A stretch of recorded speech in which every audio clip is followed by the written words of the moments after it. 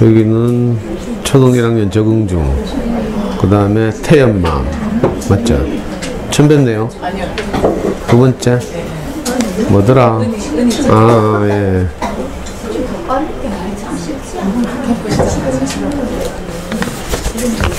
그리고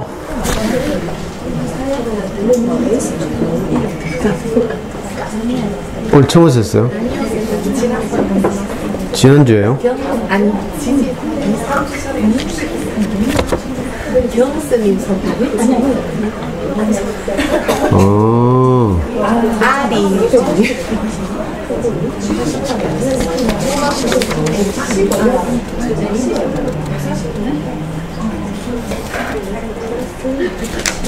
중앙도서관에서 뭐 수업 받다가 만났다는, 어, 예. 또 오늘 처음 오신 분? 민예리비님, 조용히 봐. 그 뒷줄, 언제까지 나님, 그 옆에, 비령님, 그 옆에. 오늘 처음 왔죠? 예. 몇 번요? 대학은 뭐예요? 예? 무슨 맘? 어떻게 알고 왔어요? 어떻게 알고 왔어요? 신천초등학교에서? 어, 그래요? 세 번 왔다고 그 옆에는요? 저는 네 번. 네 번? 어디서 왔대요? 신천 초등에서? 아니, 세 번, 네 번 왔는데 내가 왜 처음 보는 것 같지?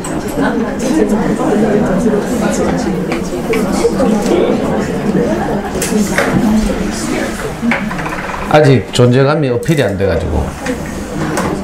옛날에 호시아지에서 강의할 때는요, 실한데 어떤 두 엄마가 서른다섯, 서른여섯 된 두 엄마가 그때 호시아지 강의할 때 이, 이렇게 많지 않았거든요. 근데 자기들은 막 조용히 들은다고 들어가지고 창가에 항상 앉아 있다가 조용히 나가고 이랬거든. 근데 매번 올 때마다 어디서 왔는지 물었잖아요. 그 두 아줌마가. 그랬더니 하는 말이 대구마음에서 목이님 그릴 것 같대. 아, 대구마음에서 사랑스러운 너희님 그릴 것 같대. 근데 1년을 계속 물었어요. 뭔가 좀, 예를 들어서 카페에 뭐 강의 소감을 남긴다든지, 뭐, 안 그러면 내가 계속 물을 거예요. 저 있네, 저. 1년 동안 계속 하셨지, 조용히 오던 엄마. 근데 계속 물었다니까, 1년 동안. 한 이분들 입장에서 한 3년 동안 저를 간 보고 조사하고 정체가 뭔지 살피고 그랬다 하더라고. 또 저하고 정면으로 보시는 분 처음 왔죠? 어디서? 예? 아, 근데 왜 내 전화번호가 저장돼 있지 내한테? 저한테 무슨 짓 했어요?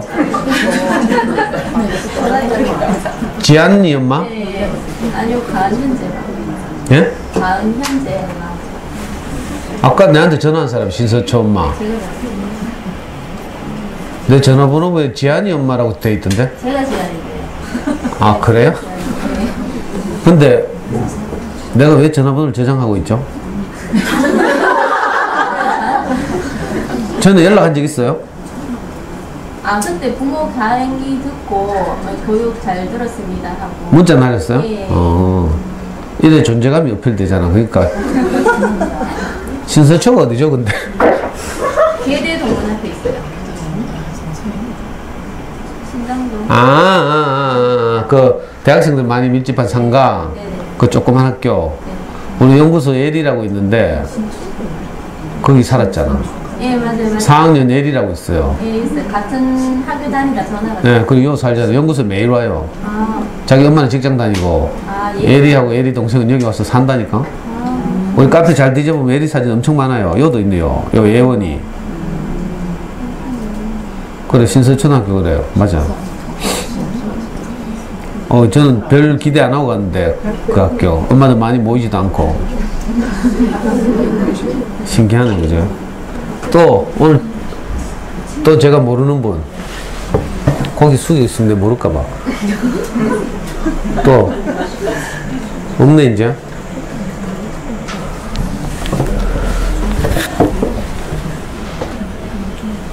저 안에는 없어? 아니 행심녀 옆에는 빈, 비었어? 네. 의자는 없- 의자는 있어 없어? 있어요. 의자는 이제 사람이 비었어. 그렇게 일당들 세 명이 막고 있으니까 못 들어가잖아. 요가를 선생님 얼굴이 잘 안 보여서. 아, 안 보인다고? 네. 이 늙어 늙어 봐가 말라고. 공유도 아니고.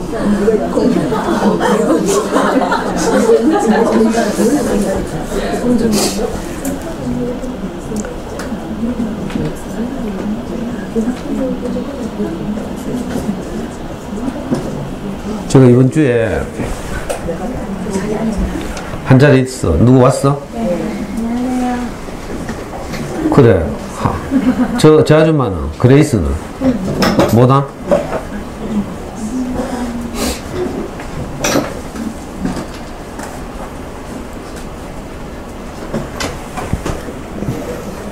제가 수요일인가?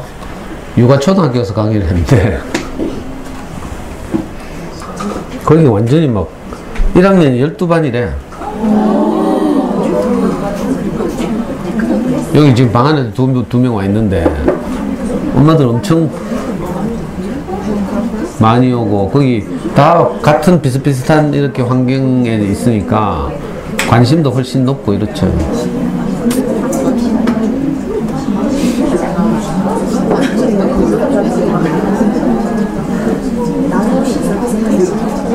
나중에 시간 나시거든 육아 초 강의 한번 들어봐요.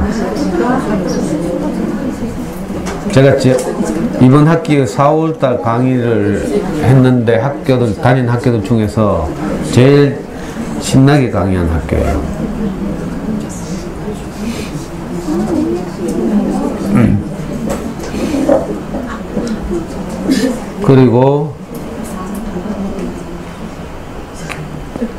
여름 방학 때 캠프 한다고 말씀드렸습니다. 계속 공부해야 되지. 현재 지금 신청 인원이 136명인가? 139명인가? 애기들 포함해서요. 그래가 지금 한, 한 다섯 과정만 더 받으면 마감하려고. 신청하신 분들은 7월 7월 7월 중순 중 7월 중순 7월 중순쯤에 나중에 공지할 텐데 7월 중순쯤부터 이 참가비를 지정된 계좌로 코코님 계좌로 납부해야 됩니다. 그리고 뭐 이렇게 묻는 분들 많은데 그 밥을 거의 일곱 끼 주고 두, 두 밤 자는데 한 사람당 10만 원이거든요. 엄청 싼 거예요. 그래서 이동할 때 필요한 버스비는 따로 내야 돼요. 버스비 1인당 2만 원.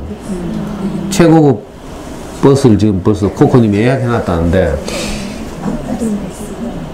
어떤 엄마들은 뭐 버스도 공짜로 태워준 줄 알고 있다. 논파라가 장사하는 줄 알고.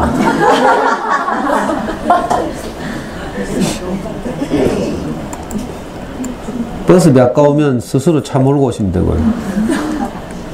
지금 서울에서 오잖아 호야맘이라고. 이분은 자기 동생이 우리 카페를 소개했대요. 그 카페에서 유튜브 강의 열심히 듣고 있는 분인데 서울에서 온다잖아.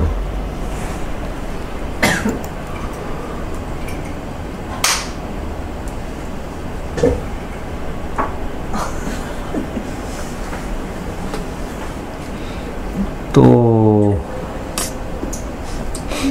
의지하는 삶 이분은요 남양주에서 와 대화명을 최근에 바꿨어요. 대화명 보면 상태를 딱 알거든. 뭐 누구 마음이 가면 아직 그냥 보통 엄마인 상태고요. 뭐가 좀 들린 사람들의 대화명 좀 달라. 이봐 지금 이 순간이 멋있죠? 이 아줌마는 우리 강의를 들은 지 한 10년 가까이 되는데 우리 연구소 상원이 엄마라고 대구 초등학교 엄마죠. 자기가 직접 강의를 들은 건 아니고 누구 소개를 통해서 mp3로 오랫동안 듣다가 우리 연구소 만들면서 이제 오시는 분인데 아이들도 오고. 지금 이 순간이 멋있잖아요. 또 한 번 볼까?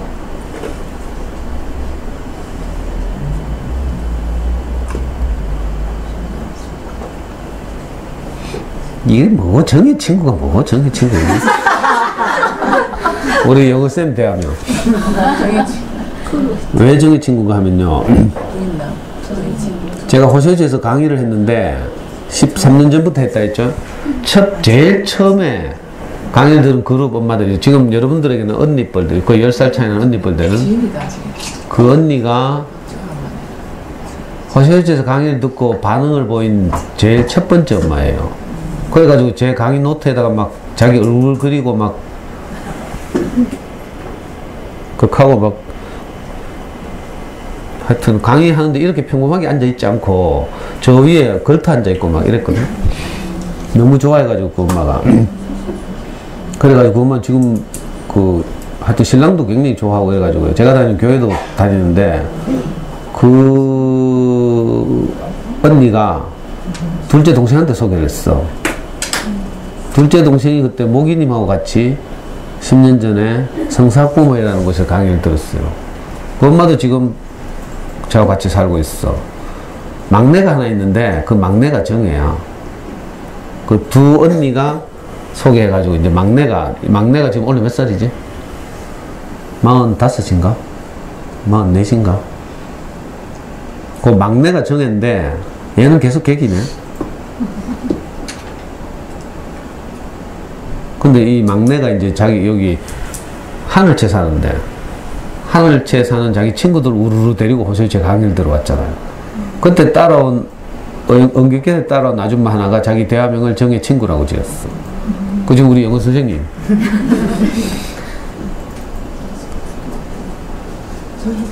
인연이 진짜 길죠.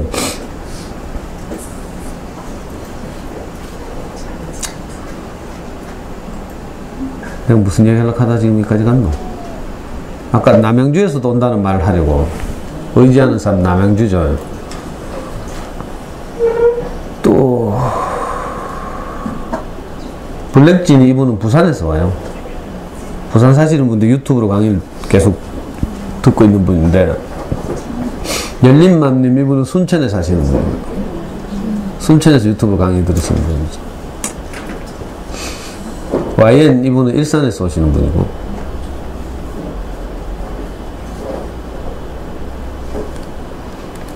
하여튼 그렇다고요. 음. 또 뭘 해야, 이야기해야 되지?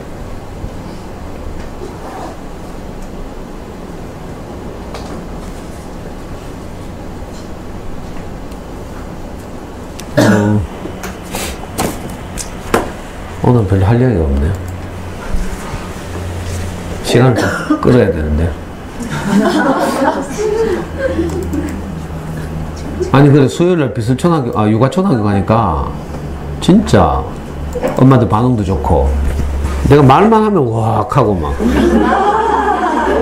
똑같은 내용을 이야기했는데, 어떤 학교는,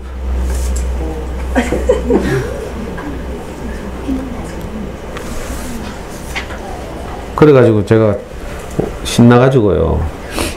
어제 갔던 학교도 진짜 감동적이었어. 어제 어디, 어디 갔더라? 어제는 저 칠곡에 태전초등학교 갔어요. 저도 이렇게 선입견이 있어서 이제 우리 동네처럼 아파트 밀집, 밀집 지역 학교 가면 보통 이렇게 엄마들이 이렇게 좀 평균적이고 이러니까 열의도 경쟁도 또 심하고 이렇죠. 그래서 많이 오고 엄마들이 그 주택학교 가면 좀 잘 안 모이거든요. 그래서 주택학 주택 학교 갈 때는 제가 이제 어, 그런 마음도 먹고 가고 어떤 학교는 마이크도 안 줘. 그래서 제 마이크를 들고 가고 마이크 하는데 알고 보니까 전부 제 마음 문제였어요. 제가 어떤 마음을 가지고 말하느냐. 어제 태, 태준초등학교 갔는데도 학, 하나급이 1학년, 세학급, 2학년, 두 학급, 3학년, 두 학급 몇 명 안 되죠. 그래서 나는 맥시멈 한 10분 오겠다 이렇게 생각했는데 그 전에 갔던 그 같은 동네 대구 보건과학대학 그 뒷동네 가면 태현 초등학교라고 있는데 거기 제가 2주 전인가 1주 전에 갔거든요. 그 태현 초등학교 엄마들이 소문을 내가지고 그 선생님 강의 꼭 들어보라 했대. 그러니까 태현 초등학교 갔는데 어제 한 30명 왔어요. 그리고 또 강의를 하니까 잘 듣고 집중하고 이래가지고 저 어제 막 울고 이랬잖아. 요즘 이제 학교 가서는 잘 안 울거든요.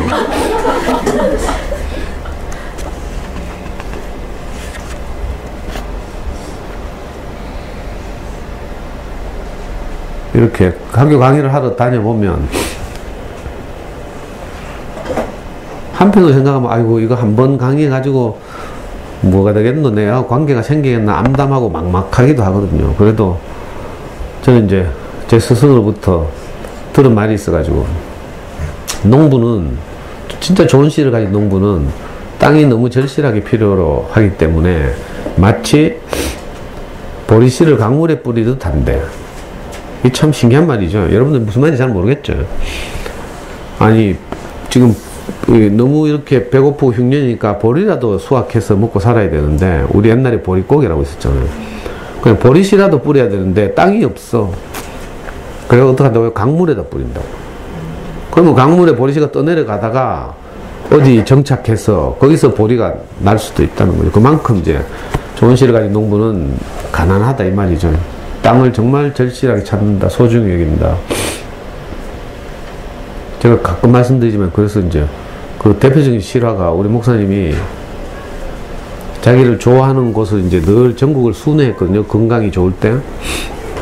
문경에 가면 이제 우리가 지금 문경 교회라고 부르는데 사실 초창기에는 이제 교회라고 부르게 뭐 하게 이제 목사님 좋아하는 영남대학교 다니는 학생이 하나 있었는데 40년 전에 그 학생이 자기 부모님들에게 이제 우리 목사님을 자랑한 거죠. 그 보통 교회 다니던 부모님들에게 그래서 목사님 이제 그 부모님들을 찾아가게 된 거예요 문경에. 그 언제까지 18년을 가졌어. 18년을 매주 한 번씩 18년을 갔다. 가면 그 이제 시골 마을에 노인들이 몇 분 모이, 모이는데 밤에 낮에 열심히 일하고 이제 밭에 나가서 일하고 이랬으니까 힘들 거 아니에요. 지치고 시골 노인들은 또 일찍 자죠. 목사님 가면 다 졸고 있어. 그 조는 노인들을 향해서 목사님이 18년을 무슨 말씀을 했다니까요. 그래가지고 어떤 누군가가 목사님한테 어떤 마음으로 거기 갔냐고 그것도 험한 산길을 어떤 때는 차 없을 때는 버스 타고 가고요. 그렇게 물었더니 목사님 하신 말씀이 보리씨를 강물에 뿌리듯 한데 성경에 그런 말이 있다고 하면서 진짜 그렇게 해가지고 그 문경 출신이 우리 교회에 한 100명 있어요. 그 할머니들의 자식들 뭐, 뭐 이래가지고. 제 일생에 영향을 미친 그런 말씀이죠. 저도 어떤 데 답답하고요. 어떤 데 막 토나 올락하고 이러거든. 매일 가서 강의하니까. 요즘 4, 5, 6월 달은 매일 가서 강의하니까 목 상태도 안 좋고 또 이 어린 엄마들 가가지고 한 번 강의해서 이게 이런 뭐 이런 생각이 자꾸 들 때도 있잖아요. 그때마다 저를 추스리는 말씀이 어, 보리씨를 강물에 뿌리듯 이 말이에요. 그것도 그냥 성경에만 나오는 말 같으면 제게 큰 영향을 못 미칠 텐데 성경에만 나오는 말이 아니라 정말 자기 삶을 그렇게 사신 제 스승이 내 앞에 있어서 제가 제게 늘 본이 되잖아요. 그래서 제가 이제 그렇게 사는 거죠. 보리씨를 강물에 뿌리듯. 우리 아이들 키울 때도 이럴지도 몰라요. 참 막막하고 막연해가지고 아이고 언제 다 키우노 싶기도 하고 막. 어 이번 주에는 제가 너무 슬퍼가지고 강의는 학교 다니면서 진짜 이렇게 열심히 해서 너무 행복했는데 일요일 날 10시 반에 우리 목사님 말씀 시간인데 안 오시는 거라. 저 원래 81살이거든요. 그 11시 다 넘어서도 잘 안 와. 그 11시 넘어서 오셨는데 완전히 막 돌아가시기 직전이에요. 그래가지고 와서 하시는 말씀이 여러분들이 나보다 먼저 와서 이 아무것도 아닌 내 말을 들어주려고 40년 동안이나 이렇게 먼저 와서 나를 기다려준 것이 너무 감사하다. 이렇게 말씀하시더라고요. 여러분들이 있어서 나는 너무 행복하다. 이렇게. 그리고 주치의한테는 혹시 모르니까 맨 앞줄에 앉아 있으라. 이렇게 말하고. 요즘 밥도 잘 못 드시고 이러니까. 그리고 또 며칠 전에는 그 주변에 이제 나도 준비해야 되는갑다. 이렇게 말씀하셨대요. 제 인생에 가장 가장 큰 영향을 미친 분? 이렇게 표현하기도 좀 그렇네. 어, 내 모든 것 되시는 분 이렇게 표현해야 되는데요. 오늘 나를 있게 한 모, 제게 있는 모든 것은 사실은 제 스승으로부터 말미암은 거죠. 물론 육체는 우리 부모님으로부터 말미암았지만, 근데 이 육체도요. 우리 부모님으로부터 말미암았을 때는 완전히 베트콩 같았다니까. 정말 신경질적이고요. 희망이 없으니까 얼굴 새카맣고 살결이 눈 쪽 째져가지고 저를 보고 다 베트콩 같다 했거든요. 처음에 저를 본 분들이. 여유 없고 이래가지고 늘 남을 쏘고 찌르고 공격하고 이런 사람이었는데 이 육체조차도 사실은 지금 제 몸은요. 그래서 좀 부드럽게 보이죠. 맨날 이야기하면 안 믿더라 요즘 사람들은. 선생님 맨날 얘기 그만하세요 이런 엄마도 있었고요. 자기가 좋아하는 선생님이 옛날에 막 뭐 노름하고 뭐 마누라한테 버림받고 뭐 이랬다니까 지금 그러니까 지금 제가 이렇게 평온하게 또 가치 있게 행복하게 살게 된 것이 다 우리 스승님의 은혜죠. 이 바울이란 유명한 예수의 제자가 성경에 그렇게 써놨어요. 나의 나 된 것은 다 하나님의 은혜다 이렇게. 이게 이제 정말 행복한 사람의 고백이죠. 어떤 사람들이 행복한가 하면요. 감사할 것이 많은 사람. 심리학에서 그렇게 말하죠. 근데 감사를 억지로 해서 되는 게 아니라 실제로 그런 경험이 있고 실제가 있어야 내가 감사가 나오는 거지. 내 인생의 밑바닥 가장 절망적인 경험을 하고 그 끝나지 않을 것 같은 터널을 지나서 밝은 빛 가운데로 나와서 그 더 바랄 것이 없는 이런 삶을 살게 되면 이상하게 내 지나온 모든 일이 정말 감사하게 되죠.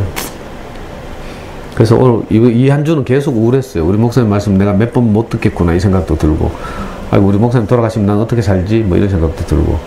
옛날에 내 교회 앞에서 그렇게 간증한 적 있어요. 목사님 돌아가시면 나는 목사님처럼 안 살 거예요 하면서 반어법을 쓴 거죠 반어법. 돌아가시지 말고 오래 사시라고. 그리고 내 앞에서 보니 그늘 살아 계셔야 하니까. 제가 우리 목사님 만났을 때가 내 34살 때거든요. 지금으로부터 24년 전이죠. 그때 우리 목사님이 제 나이하고 비슷했어요. 58인가 59인가. 아이고, 끔찍하네요. 그때 목사님을 생각하면 나는 지금 너무 초라하고 부끄럽고 아무것도 아니고 이런 사람인데 그때 우리 목사님은 너무 제가 보기에 세상에 저런 분이 있나 어떻게 판단을 하지 않을까 사람을 모든 사람을 용납하고 자기를 내려놓고 소통할까 이런 생각을 했었거든요. 근데 우연하게 이제 이번 주에 우리 연구소에서 모기님하고 뭐 이렇게 이야기를 하다가 어디서 이야기를 했더라? 월요일 월요 모임에서인가? 우리 모기님은 이제 저는 아이들하고 어린이 인문학 수업 책벗을 하잖아요. 그림책을 정해서 아이들하고 나누고 이렇게 하는데 이제 우리 모기님은 이제 내가 좀 하라니까 부담돼서 못하겠대. 그래서 아이들하고 수학 공부, 저학년 수학 공부를 하고 있는데 1학년 꼬마들 3명이 이제 모기님하고 수학 공부를 해요. 엄마들 직장 다니고 이래가지고. 근데 1학년 수학 공부 할 게 없잖아. 한 5분 하면 끝이거든. 그래서 이제 우리 모기님이 이제 아이들 수학 공부하기 전에 여기 있는 좋은 그림책을 이제 늘 저기 갖다 놓고 애들한테 읽어줘. 저게 진짜 책벗이라. 내가 보니까. 제가 하는 책벗은 이 뭐라 카노 저, 저, 말 조심스럽게 해야 되는데. 뭐라고 말해야 되지? 하여튼 모기님이 하는 책벗이 진짜 책벗이에요. 저거는 그냥 뭐 돈 받고 하는 게 아니고 애들 수학 공부 시키면서 그 전에 모기님이 자기 마음을 다해서 아이들에게 너무 이렇게 마음이 마음으로 책을 읽어주는 거죠. 저는 책 읽어줄 수가 없어 애들 떠들어서 그러니까 엄마들이 읽어주고 보내야 되는데 저하고는 노는 거라고 할 수 있죠. 근데 모기님이 책 읽어주면 진짜 애들 잘 듣거든. 이번 주에 지난주인가 모기님이 이 책을 읽어줬대. 백희나의 삐약이 엄마. 그 저는 이 책이 있는 줄 알지만 그냥 지나쳤거든요. 근데 모기님이 읽고 여기서 뭘 추수해서 딱 간증을 하는데 우리 토라스쿨에서 월요 모임에서 그게 너무 제가 듣기에 좋아가지고 저한테 영감이 딱 부딪혀 와서 아, 이번 주에는 이책 가지고 딱 강의해야 되겠다. 그래가지고 이번 주는 뭐 스트레스를 안 받았어요. 저는 매주 목요일 밤만 되면 스트레스 받거든요. 어떤 책을 가지고 또 뭐라고 말씀드려야 될지. 책 골라야 되고 막 있잖아요. 또 엄마들이 이제 이렇게 내가 부탁해서 우리 어린이 책에 관심 있는 그 엄마들이 저한테 이제 책을 골라서 추천해 주면 그 엄마에게는 또 감동이 되는 건데 저한테는 그런 경험이 없으니까 또 잘 안 되고 이런 경우도 많고요. 이 이야기는 진짜 간단한 이야기인데 하여튼 뭔가 제게 부딪혀온 게 있어서 잘 말씀드릴 수 있을지는 모르겠지만 한번 시도해 보겠습니다.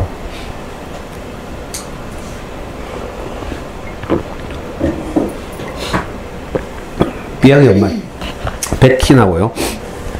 제가 강의 때 여러 번 말씀드렸지만 백희나는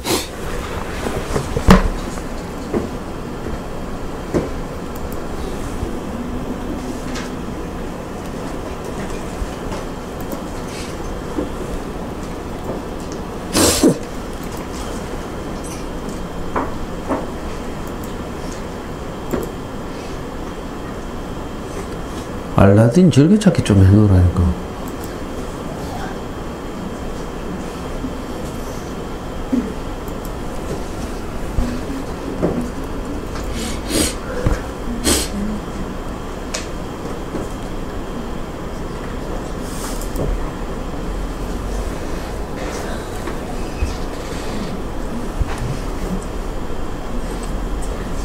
아니 이 노트북만 그래? 내 PC는 안 그런데 왜 이리 늦지?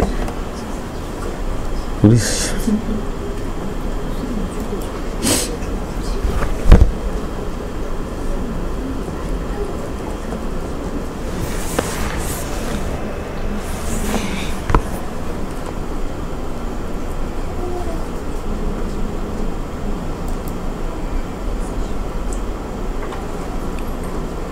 출판사는 책 읽는 곰 이라고요.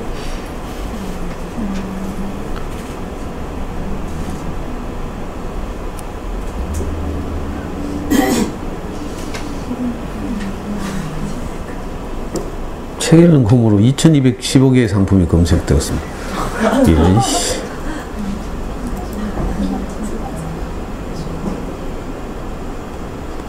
출판사가 어딨노? 책 읽는 곰 책을 소개하려고 하는데 백희나를 검색해 왜 하는 말이고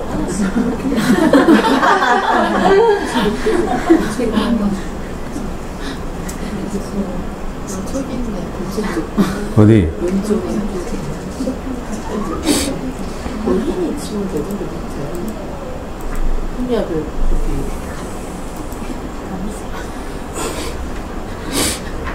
자, 책 읽는 곰에서 나온 책들이에요. 비교적 요즘 나오는 이렇게 우리나라 책, 그림책 작가들의 책을 괜찮은 책들, 그림책들을 만드는 출판사죠. 알사탕을 여기서 만들었네. 자, 왜냐면 이것도 유명한 책인데 안녕달이 낸 신간 안, 안녕달이라고 알아요? 수박 수영장, 할머니의 여름 휴가 뭐 이런 그림책. 최근에 이제 좀 주목받는 작가라고 할 수 있죠. 이분이 낸 최신간이네. 2017년 4월. 장래 희망이 뭐라고? 이건 제가 모르는 책인데 이상한 엄마 백희랑 여기서 책을 내네. 장수탕 선생님 달샤벳 여다 여다 있네. 처음에 이제 그 뭐야 구름빵만 전집으로 나왔죠. 한솔수북인가? 전집으로 나왔다가 이게 너무 반, 좋은 반응을 보여서 단행본으로 따로 풀어낸 책인데 그 후로는 여기서 다 내는구나. 소피 시리즈도 유명하죠. 책 읽는 거면서 좋은 책 많이 낸다. 엄마가 화났다도 있고 최숙희도 여기서 내네. 최숙희는 요즘 표절 때문에 책을 못 내고 있죠. 너는 씨앗인 이거 하고 또 한 권이 뭐 일본 책을 뺏겼다고 해서 논란 2년 전에 논란이 됐죠. 그래서 2015년 이후로는 지금 책을 못 내고 있습니다. 안타깝죠.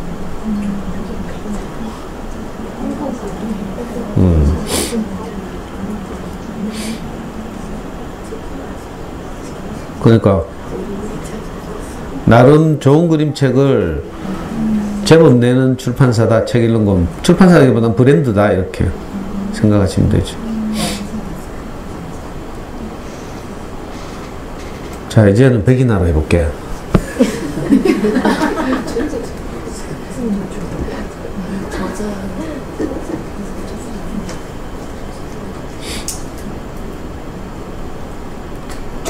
어, 100키는 했는데 100 몇 개가 나와?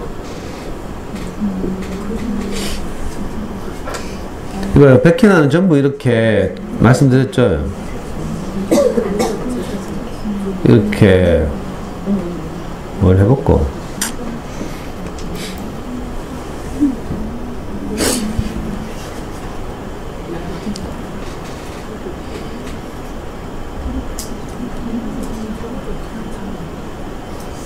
작가 속에 나왔나?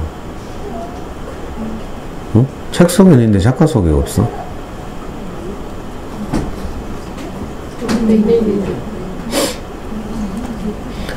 캘리포니아 예술학교에서 애니메이션을 그건 어디서 배웠다 했지? 닭공예 백희나 책들은 대부분 그 뭐 자기가 자기를 소개하는 이력에 보면 인형 장난 전문가 뭐 이렇게 소개하고 있어요. 그러니까 인형 같은 걸 만들어서 장난친다 이 말이죠. 그걸 배경으로 이렇게 삼아서 사진을 찍고 이 사진을 그림책의 배경으로 많이 사용하는 이런 기법을 쓰는데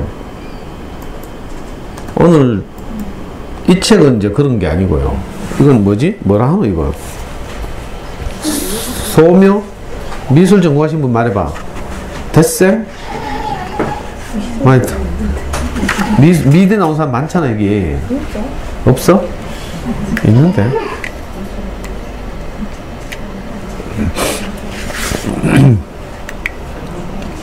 삐약이 엄마.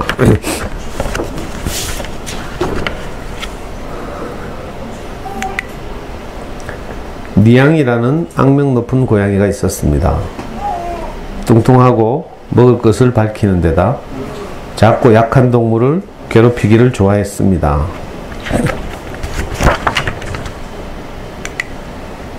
특히나 갓 낳은 따, 따스한 달걀은 니양이가 가장 좋아하는 간식이었습니다. 어느 봄날 아침 니양이는 닭장 앞을 지나가고 있었습니다. 마침 암탉들은 모두 자리를 비우고 없었습니다. 앞으로 이거 책을 줄때 음악을 좀 깔아야 되겠다. 지금까지 하다 보면 뭔가 좀 허전하네. 그죠? 신앙송 하듯이. 아니면 누가 생, 생으로 뭐 반주를 하듯.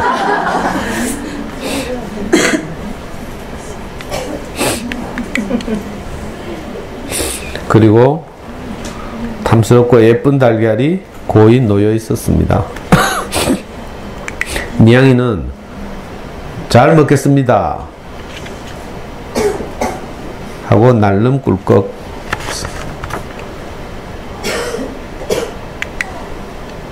그리고 유유히 자리를 떴습니다. 이건 그린 거 맞죠?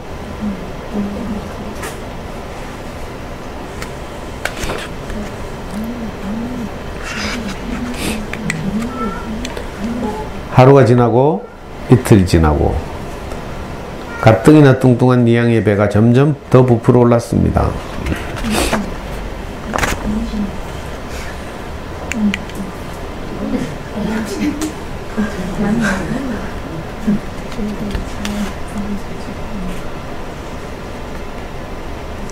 뱃속에서 뭐가 점점 자라고 있죠? 아이고 배야 니양이는 갑자기 똥이 마려워 화장실로 달려갔습니다.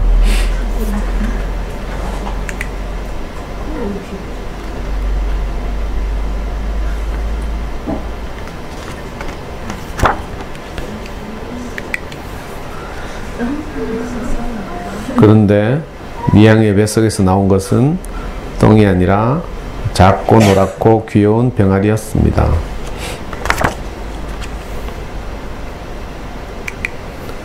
내가 병아리를 낳았어. 니양이는 너무나 놀라 뒷걸음을 뒷걸음질 쳤습니다. 갓 태어난 병아리는 어기적 어기적 다가오더니 니양이 품속으로 파고들었습니다. 당황한 니양이는 어찌할 바를 몰라 그대로 굳어버렸습니다. 잠시 후 니양이는 병아리의 작고 보드라운 머리통을 슬며시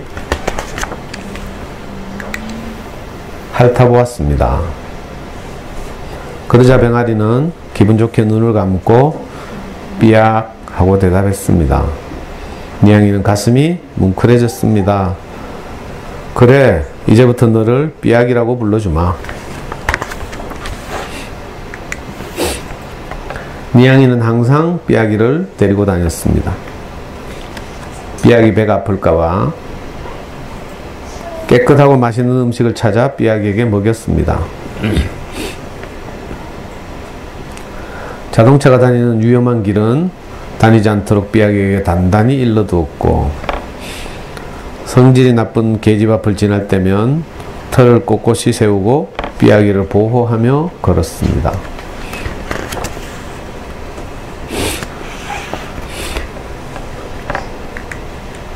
이웃들은 악명 높은 니양이라는 이름 대신 삐약이 엄마라는 이름으로 이 고양이를 부르고 기억하게 되었습니다.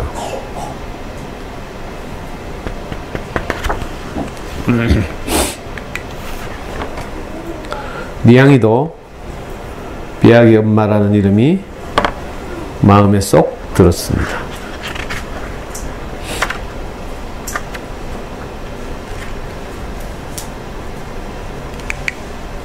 책의 앞 표지를 보면 니양이 발자국 하나만 있거든요. 제가 사진을 못 찍었는데 책 제일 마지막에는 삐약이 발자국도 있죠. 이좀 이거 아이들에게 읽어주면서 엄마들이 어떻게 읽어줄지 참 막연하죠. 너무 단순하고 황당하고. 근데 저는 막 지금도 읽으면서 막 눈물이 막 나네. 어, 우선 니양이가 악명 높은 고양이래. 벌써 이름 이름에서 상징되죠. 사납게 생기기도 했고.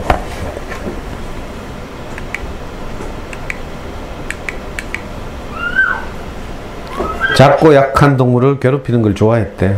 지밖에 모르는 놈이죠. 어디서 많이 본 것 같지 않아요?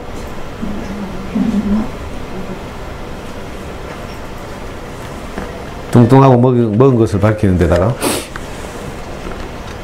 근데, 있을 수 없는 일이 일어났어요. 좀 황당하네, 진짜. 달걀 먹었는데, 임신해. 자, 이런 걸 통해서 뭘 말하려고 하겠죠. 저는 김씨인데, 김이 김씨인데, 김이 김씨 조상은 김알찌래. 아래서 태어났다 하대. 여러분들 어떻게 생각해요? 진짜 그대로 믿어? 아니지? 뭔가 이제 김씨 집안의 조상은 뭔가 좀 신비하고 뭐 어? 능력 있고 하늘이 뭐 영향을 미친 뭐 이런 걸 이제 강조하려고 하다 보니까 이렇게 아래서 태어났다 뭐 이렇게 묘사하는 거겠죠 신화적으로 원래 신화라는 게 이런 거 아니에요 자 저는 이 책을 보면서 금방 딱 뭔가 감이 왔어 모기님 이야기를 듣다가 야 있을 수- 일어날 수 없는 일이 일어났구나 일단 일단 고양이가 달걀을 먹고 임신했다는 게 말이 안 되잖아요 그렇죠? 근데 저는 이말 들으면 전율이 전율이 내게 와. 지금도 방금 말씀드리다 보니까 전율이 오는데 우리 우리 생각으로 우리 관념으로 우리 상식으로 일어날 수 없는 일이 일어나는 거라.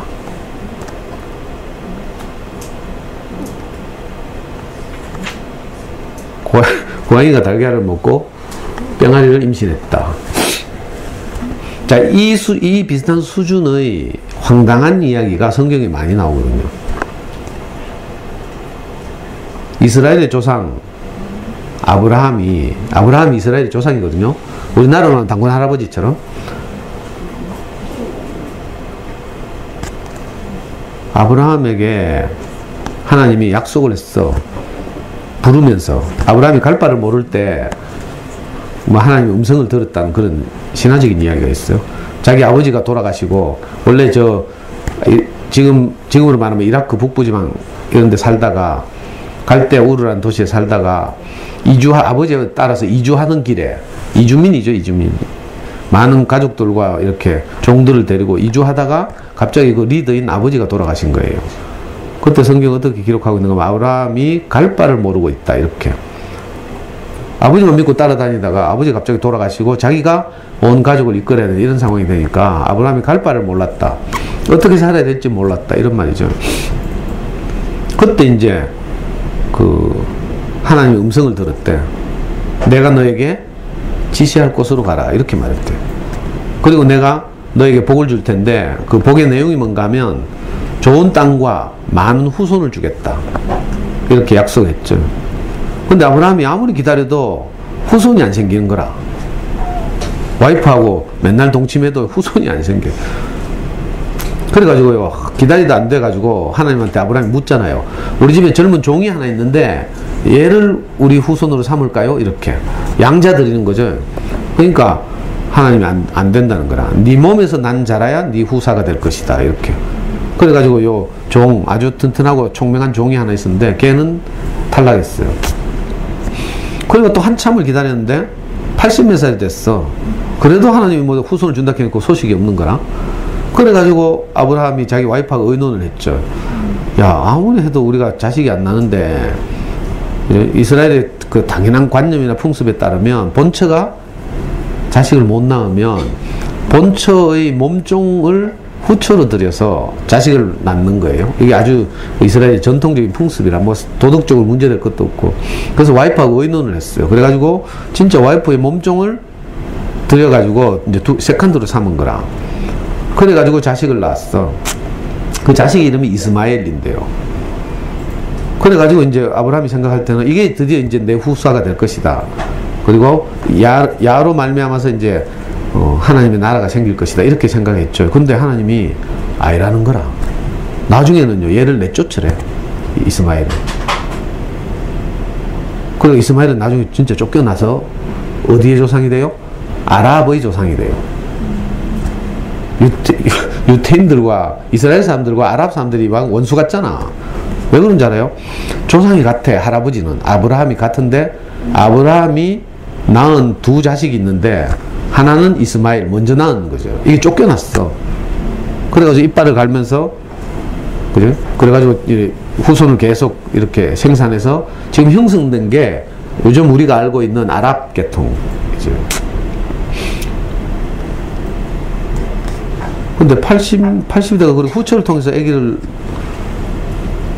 생산했는데 또 아니라는 거라. 이 요즘 말로 하면 장손이 아니라는 거죠. 그래가지고 참 황당하다 하면서 아브라함하고 아브라함의 와이프가 계속 기다렸잖아. 그래가지고 드디어 아브라함이 100살이 됐어. 99살이 됐어. 근데 아직도 아기가 안 나. 임신이 안 돼. 그때 하나님이 하신 말씀이 그때 90, 아브라함의 99살에 찾아와가지고 하는 말이 내년 이맘때 네가 아들을 낳을 것이다. 이렇게 말하는 거야. 그랬더니 와이프가 문 뒤에서 하나님이 아브라함한테 하는 말을 듣고 피식 웃었대. 이게 무슨 말인가 하면요. 불가능하다 이 말이죠. 이 아브라함의 와이프 사라라고 있는데 이 사람은 이미 생리가 끊어졌고 다시 말하면 임신을 못하는 생물학적으로 임신을 못할 정도로 늙었고 아브라함도 마찬가지죠. 그 백살 때 아이를 낳는다고 하니까 자 아브라함의 백살 때 네가 아들을 낳을 것이다 이 말은요. 아무리 생각해도 믿을 수 없는 말이죠. 네 생식 능 생식 능력의 범위 밖에 있는 일이니까. 그 있을 수 없는 일인 거라. 근데 진짜로 아브라함이 100살 때 와이프가 임신을 해가지고 아기가 났다니까? 이상하죠? 아니, 여자는 생리가 끊어졌어. 남자는 생식 능력이 없어. 정자 생산 능력이 없어. 그런데 둘이 애를 낳았다는 거라. 그 아들의 이름이 이삭이에요. 지금 이스라엘의 두 번째 할아버지죠. 있을 수 없는 일이 일어난 거죠. 이런 일이 많은데, 뭐이 일뿐만 아니지만 진짜 많은 일이 있거든요. 근데 이보다 더 황당한 말이 뭐예요? 처녀에게서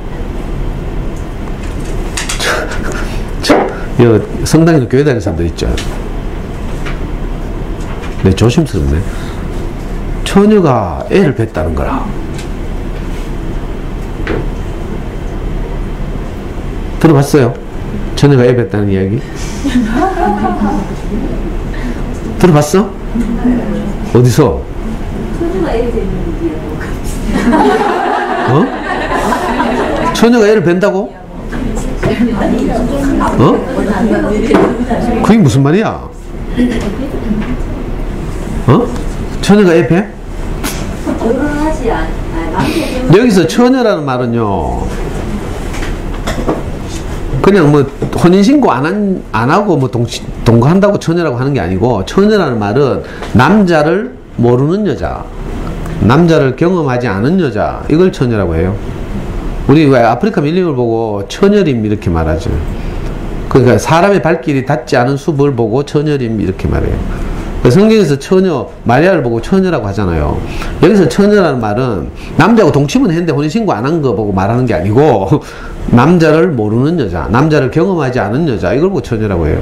근데 처녀가 애를 뱉다는 거라. 동서고금을 막론하고 이런 일은 없어요. 근데 어디에만 있어? 성경에만 있는 거야. 참 황당하죠. 그래가지고 가톨릭에서는 너무 이게 신기한 일이라서 이, 이 처녀를 어, 너무 위대하게 만들었잖아. 성모 마리아라고. 희한하대 또. 그래가지고 내가 가만히 보니까 예수보다 성모 마리아를 더 중요하게 생각하는 것 같아. 늘 기도할 때 성모 마리아께 기도한다니까? 어머니를 쫄라 놓으면 어머니가 애, 아들한테 부탁해가지고 뭐 복을 줄 것이다. 이런 취지죠. 이게 사실 있을 수 없는 말이거든요. 처녀가 잉타의 아들 낳고 이게 무슨 말인가 하면 이 사실 마태라는 사람이 이렇게 썼어요. 마태복음에서 그 보라 처, 꿈에 마리아의 꿈에 보라 처녀가 천사가 나타나서 보라 처녀가 잉타하여 아들을 낳을 것인데 그 이름을 임마누엘이라 하- 할 것이다. 근데 임마누엘의 말의 뜻은 하나님이 저와 함께 계시다 이런 뜻이래요.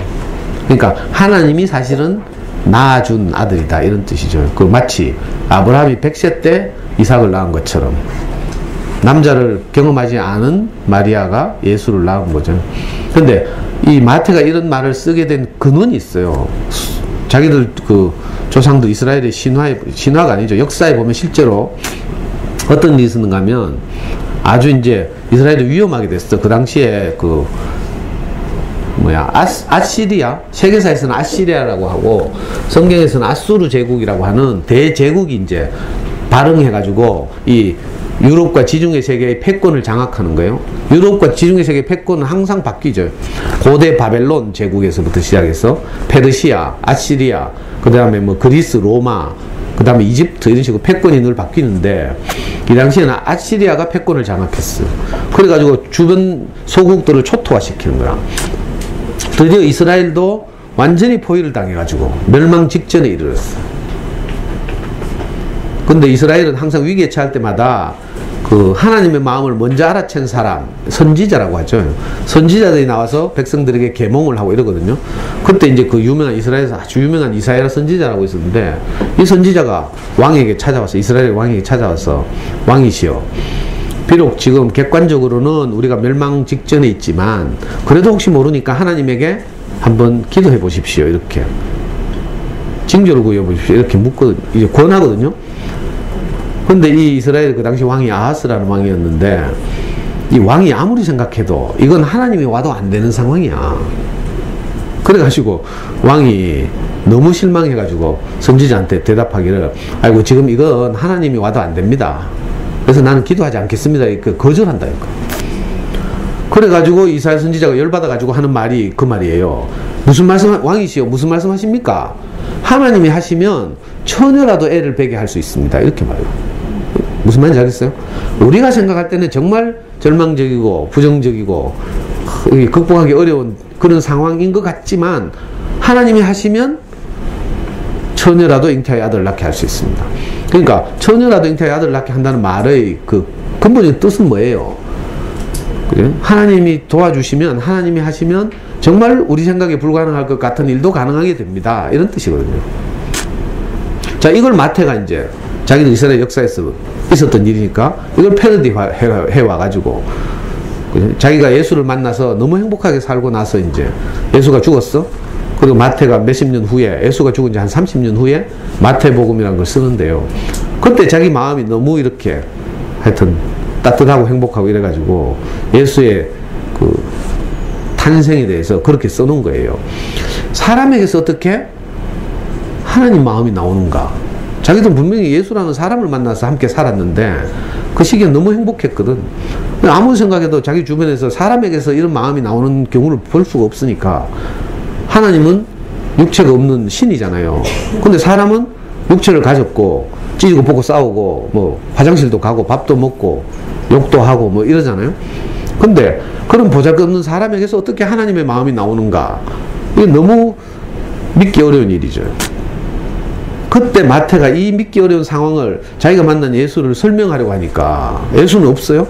그래서 자기가 막 짱구를 굴려서 생각해낸 것이 아 우리 역사 시대에 있었던 그죠 아시리아 제국이 쳐들어왔을 때 그때 이스라엘 선지자가 했던 말 아, 하나님이 하시면 처녀라도 잉태해서 아들을 낳게 할 수 있습니다. 이걸 그렇게 쓴 거예요 마태복음. 이게 이제 그 배경과 이런 거 다 생략되고 왜곡되고 이래 가지고 나중에 급기에 어디까지 가는가 하면 성령으로 잉태되었다. 이런 표현까지 나오죠. 성령으로 잉태되었다. 이게 무슨 말인지 모르는 말이죠. 남자의 정자가 난자와 어떻게 어떻게 해야 애가 생기는데 꼭 지금 냐옹이가 달걀 노란 달걀을 먹었는데 임신한 거 같은 황당한 사건인 거죠. 근데요, 이게 2000년 전에 예수의 탄생만 그러면 이건 신화예요, 신화. 물론 뭐 기독교인들이 이걸 믿고 기독교인 아닌 사람들은 황당하다 하고 뭐 이러고 말겠죠. 믿든지 말든지 하고. 근데 신화가 사실이 되려면 어떻게 돼요?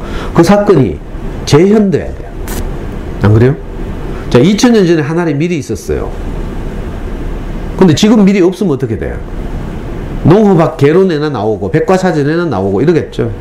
근데 우리는 지금 2000년 전에 미리 있었다는 사실을 너무나 쉽게 믿어. 동의해. 왜? 지금도 미리 있으니까. 그리고 지금도 밀을 갈아서 밑에 아래층에 파리바게트에서 빵을 만들고 있어요. 재현되니까 아주 쉽죠? 미리 있었는지 없었는지 의심할 필요도 없어. 왜? 지금 재현되고 있으니까. 자, 오늘도 마찬가지인데, 우리가 생각할 때 정말 불가능한 일이 일어난다면, 의심할 여지가 없는 거죠. 예를 들면, 여러분들 자기 자신을 잘 알 거 아니에요. 내같이 이 미친년이 우리 아이에게 정말 너는 소중하다 이렇게 말할 수 있다면 이건 있을 수 없는 일이 일어나는 거라. 안 그래요? 원래 할 수 있었어? 저는 제가 생각할 때 내가 우리 아이한테 아빠는 어떤 경우에도 너를 사랑한다. 이건 있을 수 없는 일이 일어난 거예요. 아빠는 네가 어떤 길을 가든지 너를 지지하고 응원할 것이다. 이건 제가 아는 나로서는 할 수 없는 말이에요, 사실은. 근데 있을 수 없는 일이 일어난 거죠. 여러분들도 그럴, 그럴지 몰라요. 몰라. 자기를 잘 모르는 사람은 나는 원래 잘했어. 나는 원래 선했어. 이렇게 할지 모르지만, 인생을 좀 살아보면요. 내가 얼마나 더러운 인간인지, 얼마나 나는 나밖에 모르는지, 얼마나 난 추악한지 이걸 알게 되거든요. 사실 있을 수 없는 일인 거죠. 냐옹이가 삐약이를 임신하는 것처럼. 근데 있을 수 없는 일이 오늘날 재현된다니까. 제가요, 정말 있을 수 없는 일인데 나는 냐옹이처럼 막 지밖에 모르고요. 막 이기적이고 이런 인간인데 어느 날 내가 임신을 한 거라. 내가 임신하다가 이상하죠. 생물학적으로 들으면 안 돼. 냐옹이가 삐약이를 임신한 게 이게 생물학적으로 가능한 이야기예요? 불가능한 이야기잖아. 근데 불가능한 이야기가 가능하려면 우리가 이걸 비약해야 돼. 우리 상상력을 발휘해서 아 이건 인격적인 이야기구나 이렇게. 내같이 이기적인 인간에게 도저히 있을 수 없는 일이 일어났어요. 제가 스승을 만나서 어떤 말을 계속 들었는데 내 안에 착상이 되는 거라. 어떤 말이 내게 착상이 돼요. 근데 아직 낳지는 못했어. 그러니까 처음에는 이제 내가 들으면 좋고, 그 집에 가서 들은 말을 좀 해. 근데 이게 앵꼬 나잖아요. 우리 목사님 말씀 내게서 영향이 끝나는 날은 내가 또 애 잡고 이제 이렇게. 아직 내가 출산을 못했어 그래. 근데 여러분들도 그렇죠? 뭐, 뭐 어떤 엄마들은 뭐 강의를 듣고 나면 약발이 3일 간다는 엄마들이 있고 일주일 간다는 엄마들이 있고 근데 부정, 이상하게 너무 들으면 내 마음이 따뜻해져서 그죠? 그 마음으로 또 좀 살 수 있잖아요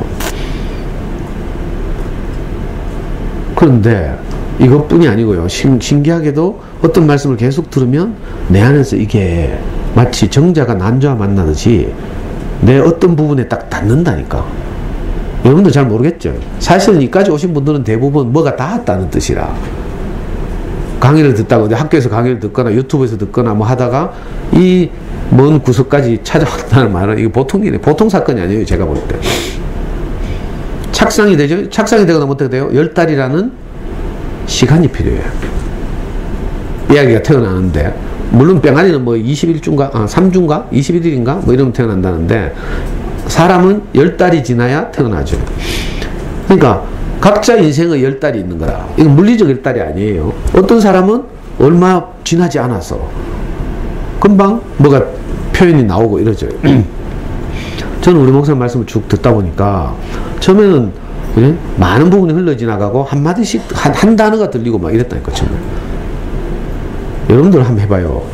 제가 막 이렇게 말한 것을 집에 돌아가서 아이들이나 남편에게 한 표현하려고, 표현하려고 해보라니까. 분명히 뭘 듣긴 들었는데, 기분은 좋았는데, 막상 남편이 뭐 듣고 안 녹하면, 말하려고 하면, 야, 이거 참, 애매모호하죠. 어, 뭐, 뭐, 이거 뭐라 해요? 꿀 먹은 벙어리라고 하는 거라. 꿀 먹은 벙어리가, 라는 말이 왜 나왔어요? 꿀을 먹어서 너무 달아. 근데 이 단맛을 자기가 알고 있는 말로 묘사를 못 하는 거라. 그래서 꿀을, 꿀을 먹었는데, 이, 어? 이 꿀의 단맛을 묘사하려고 하니까 말할 언어가 없어가지고, 벙어리처럼 표현을 못 하고 있는 거라. 그게 꿀 먹은 벙어리예요. 이상하게 아직은 내가 들으면 좋고, 그런데 이걸 다시 표현하지 못해. 아직 낫지를 못한다는 뜻이에요. 저는 신기한 일을 경험했는데, 어떤 말을 계속 듣다 보니까 내 안에 진짜 착상이 되고 이게 조금씩 조금씩 자라는 거라. 그죠? 그 자라기 전까지는 이제 자라서 출산하기 전까지는 계속 나도 이제 옛날 습성이 남아 있어 가지고 뭐 찌고 뭐 싸우고 뭐 이렇게 많이 했죠. 이거를 내가 어떻게 알았는가 하면요. 예수의 제자 중에 요한이라는 사람이 있어. 요한이라는 사람이 뭐라고 말했는지 알아요? 우리는 하나님이 하늘에 있다고 생각하잖아? 그죠? 근데 이 요한 알아요? 예수의 제자 중에 가장 예수의 사랑을 많이 받은 열두 제자 중에 가장 어렸던 그래가지고 맨날 그, 그 레오나르도 다빈치의 최후의 만찬 그림 보면요 예수 무릎 빼고 어, 누워 있는 놈이 있다니까 그게 요한이라 제일 어리고 그래서 예수가 제일 많이 사랑했던 제자예요 이 요한이라는 사람이 나중에 예수가 죽고 나서 뭐라고 썼는지 알아요? 자기가 쓴 요한복음이라는 성경에 희한한 말을 써놨어. 태초에 말씀이 계시니라 이렇게 써놨어. 옛날에는 사람들은 태초에 신이 있었다 이렇게 쓰죠. 구약 성경에 보면 태초에 하나님이 천지를 창조하셨다 이렇게 썼잖아요. 요한은 자기 뭐라고 썼는가 하면 태초에 말씀이 계시니라. 이 말씀이 하나님과 함께 계셨으니 이 말씀이 곧 하나님이시다 이렇게 썼어요. 여러분들 이런 말 들어봤어요? 하나님 어디 하늘에 있다고 생각하잖아. 근데 요한의 포착은 달라. 요한의 통찰은. 요한은 뭐라고 말한다고요? 말씀이 하나님이래. 근데 아직도 많은 사람들이 하나님은 하늘에 있다 이렇게 생각하고 있어. 이건 요한보다도 후퇴한 거죠, 사실. 2000년 전에 이미 요한이 놀라운 포착을 했어요. 태초에 말씀이 계시니라 이 말씀이 하나님과 함께 계셨으니 이 말씀이 곧 하나님이시다 이렇게. 다시 말하면 하나님이라는 분이 하나님이 어떻게 우리한테 오는가 하면 말씀이라는 형태로. 근데 많은 사람들이 뭐 기도하다 보면 이상하게 뭐 하나님 만났다 하고 이거 환상이죠 환상. 이 착각이죠. 이건 정신병 비슷한 거예요. 그게 아니라 어떤 마음을 가지고 말하면 거기에 하나님의 마음이 묻어온다는 뜻이에요. 왜 말은 사람의 마음의 표현이죠. 안 그래요? 그러니까 말은 제가 하지만 사실 저는 제 마음을 여러분들에게 말하는 거예요. 그러니까 어떤 마음이 있으니까 내가 울기도 하고 이런 거죠. 어제 태준천하고 가서는 막판에 내가 울컥해가지고 우리 아들이 이제 해외 나가 있어가지고 다시는 내가 가까이서 볼 수 없다고 생각하니까 너무 막 안타까워서 그 태, 태준천학교 엄마들에게 학교 갔다 지금 여러분들 아이들이 돌아오잖아요. 그 아이들과 함께 찍어 먹고 사는 것이 너무 행복한 일이라고. 저는 어릴 때 그렇게 못했는데 여러분들은 저보다 훨씬 더 행복하게 아이를 키웠으면 좋겠다고 말하다가 내가 울컥했거든요. 내가 어떤 마음이 있으니까 그런 마음을 표현하는 거죠. 그게 말이에요. 그러니까 말은 마음을 전달하는 도구잖아요. 그러니까 어떤 말을 들으면 거기에 마음이 이렇게 실려오죠. 근데 이 마음이 실려오는 말, 이 속에 우리가 상상하지 못했던 다른 마음이 있다니까. 이걸 보고 하나님 마음이라고 해요. 사람에게 없는 마음이니까. 그 저는 날 보니까 제가 어떤 말을 계속 들었죠. 근데 이게 시간이 점점 흐르다 보니까 나중에는 이 마음이 넉넉하게 밖으로 나오는 거라. 이게 냐옹이가 삐약이를 낳는 거예요. 물리적으로 생각하면 뭐 똥누로 나가 똥누로 갔다가 힘을 줬는데 삐약이가 나왔잖아. 여러분들 뭐 아기 낳을 때 산부인과 가서 막 통증을 참고 막 힘을 쓰니까 우리 아이들이 나왔죠. 이거 물리적으로 말하면 이런데. 자, 이걸 인격적으로 이제 딱 바꾸는 거죠. 치환해서 잘 들어봐요. 어떤 말을 내가 계속 들으면요. 나중에 이게 시, 나만의 시간이 경과해서 열 달이 딱 지나면 내게서 넉넉하고 충분하게 표현돼서 나온다니까. 그래가지고 그 말을 들으면 듣는 상대방이 행복해지는 거야. 지금 잘 안 되죠. 열 달이 안 차서 그래. 열 달이 차면 애 낳잖아요. 병아리는 3주 지나면 나. 이상하다니까? 어떤 말은요, 이 하나님의 말은, 하나님의 마음을 담은 말은 내게 와서 이게 내게 착상되고, 이 말이 계속 영양분을 공급받으면 이게 자라는 거라. 그래서 열 달 되면 여러분들이 나도 모르게 무슨 말을 하고 있어. 근데 요즘은 이거 빠른 엄마들이 있더라. 젊어서 그런지. 아니 내 자꾸 말하는데 4월달에 왜 중앙초등학교 갔잖아요. 중앙초등학교 가니까 어떤 엄마가 강의를 듣고 바로 도서관에서 책 두 권을 빌렸다고 우리 카페에 썼죠. 그래가지고 애기한테 막 읽어줬대. 근데 이 엄마는 자기가 말할 게 없어가 선생님 말을 고대로 했다잖아. 제 말을 고대로 했다는 거예요. 아직 이건 애기를 낳은 게 아니죠. 무슨 말인지 알겠어요? 근데 그대로 말한 것만으로도 애가 막 통곡을 하면 울더라잖아 엄마 놀래가지고 내가 이렇게 잘못했나 싶어서 당황스러워서 얘한테 물어보니까 애가 하는 말이 그게 아니고 엄마 진심이 느껴졌어. 엄마가 정말 나를 사랑, 사랑하는구나 진심이 느껴져서 그래 울었다잖아. 그 엄마는 내 말을 흉내냈어요. 엄마는 어떤 경우도 너를 사랑한다 이 말 했겠지. 근데 그게 도달한 거래 얘한테. 만약에 우리가 열 달이 지나서 생각해봐요. 내 인생의 열 달. 이게 뭐 5년이 될 수도 있고 3년이 될 수도 있고 어떤 것만 한 달이 될 수도 있는데 우리 안에서 이것이 온전하게 표현돼 봐요. 근데 우리가 이거 아직 열 달이 안 되면 어떤가 하면 엄마는 너를 사랑한다. 근데 공부도 좀 해야 된대. 이런 되는 거라. 이 사산하는 거, 사산. 무슨 말인지 알겠어요? 조산, 조산. 열 달이 다 익어서 나오면 그래, 네 공부는 상관, 뭐, 먹고 사는 문제니까, 어? 너는 엄마하고 행복하기에 충분하다. 뭐, 이렇게 말하게 되는데, 아직 열 달이 안 되면 우리 안에 조금 뭐가 미련이 남아있어. 찌꺼기가 남아있어가지고, 여러분도 다 해볼 거라. 그래, 행복하게, 그래. 그건 좋은데, 그래도 뭐 수학은 좀 해야 되지. 표현이 이렇게 된다니까. 우리가 꼭 그렇게 치사하게 안 해도 사실은 공부는 다 하게 돼 있어요.